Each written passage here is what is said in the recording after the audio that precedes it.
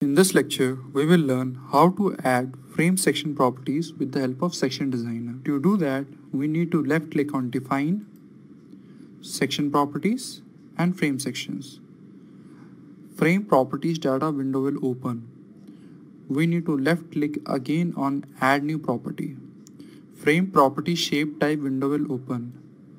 In this window, there is an option to add special frame sections First option is section designer. Second option is non-prismatic. Third option is auto select list and fourth option is general. To do the simplest option first, we can left click on general section. In this example, we can add for example ellipse section. We can add the property name as ellipse. We can add the material of that section. For example, let it be a C75. Depth can be for example 600 mm and width can be 300 mm.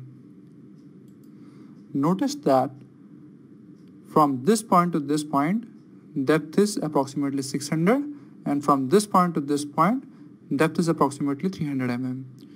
To check the section properties of the section that we have just modeled, left click on modify show section properties. The whole table displaying all type of section properties are now available. We can also add modifiers for this frame section.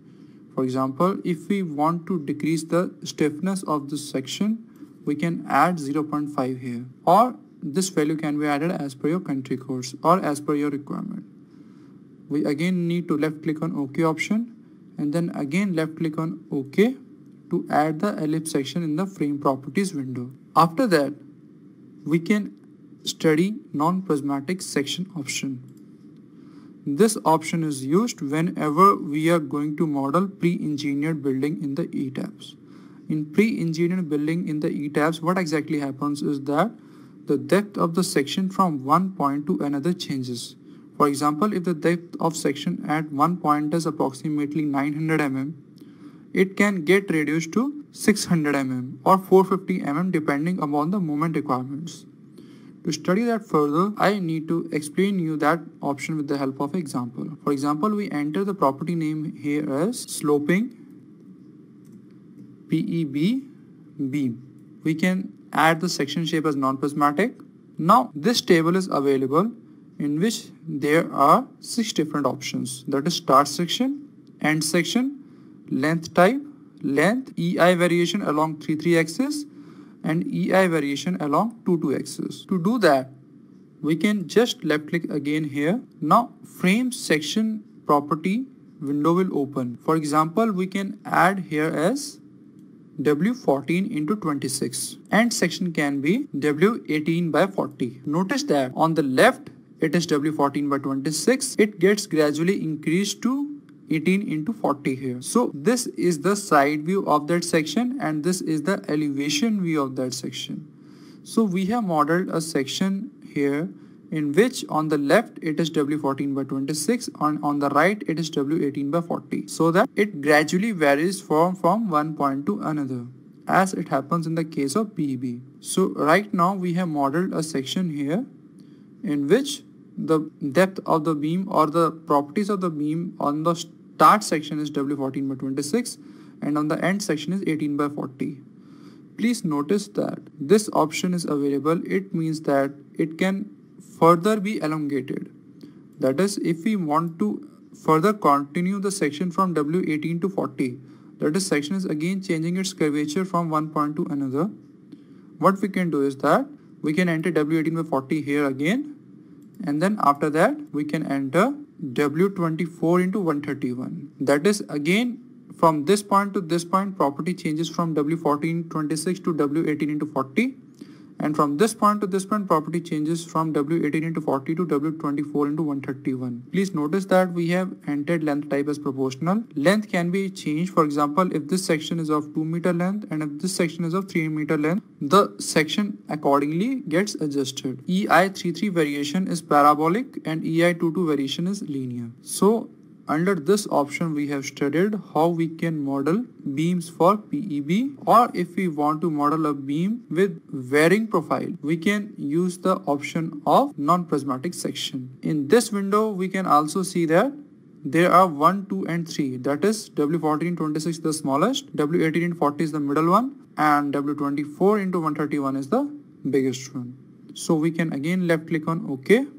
Left click on section design section profile. On the top you can enter the property name.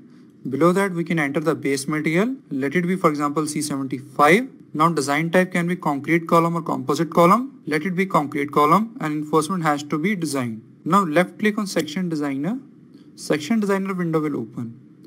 Now under this window there are various options that is we can there is file edit view draw select and display under draw there is an option of concrete shape steel shape rebar shape reference line snap to and settings to study the simpler option first we can enter for example L shape now we can again snap to this point which is origin that is 000 here L shape is now drawn. Left click on this option and then again right click on this area.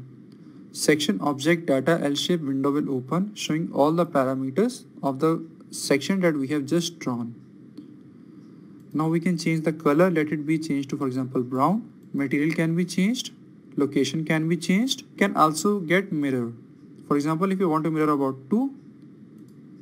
See we have just mirrored the section about 2 axes again left click on 2 and again right click so now this is the important part that whether we want to change the height and width of the L-shaped section that we have just drawn. For example let the height be 1500 width also be 1500 flange thickness let it be of 400 web thickness let it be of 300 we can left click again on OK option. We will find that the section changes automatically as per the data that we have just entered. Now again left click and again right click to change the reinforcement. Right now reinforcing is no. Select this option and select yes. You will notice that further options automatically become available. That is of rebar material, let it be of FE500, web rebar and flange rebar.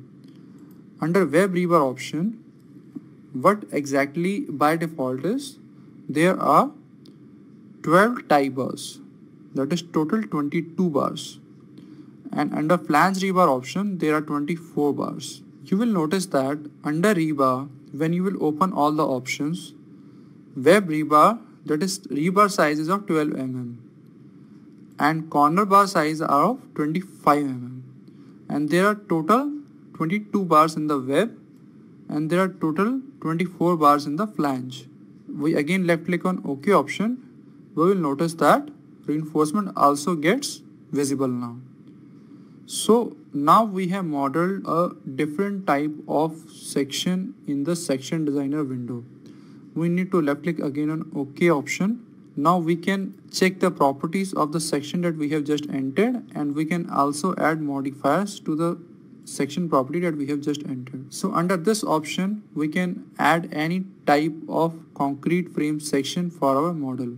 Now this option is also available for our modeling. So under this option, we have studied section designer, non-prismatic and general option.